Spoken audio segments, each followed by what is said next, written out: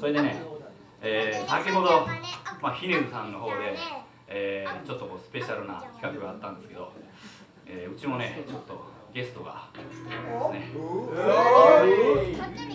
えー、今日の、えー、主催バンドご存知ですか？もちろんご存知ですね。どこですか？お素晴らしい、えー、シンカーワードイット、えー、かっこいいですね、えー、早く見たいですよね、えー、だけど鬼殺しもかっこいいですよね。鬼殺しもまだ見たいですよね。もっと見たいですよね。えー、まあシンカーワードイットも見たい。鬼殺しもまだ見たい。えーとじゃあこの2つが一緒になったらどうなるんでしょうかね。えー、ということで、えー、次の曲は4人の鬼殺しでお届けします。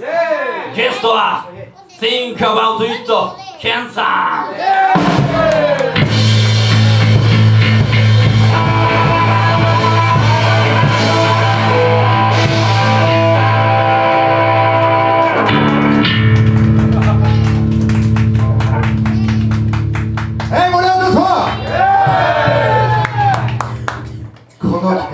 えた時にめっちゃ面白そうだって。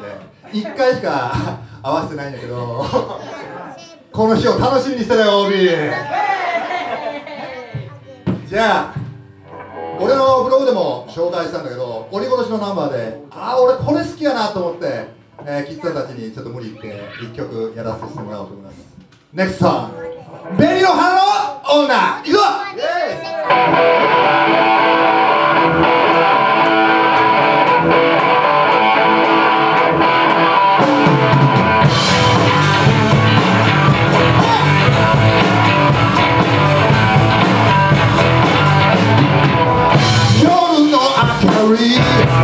地球は紅の花の女。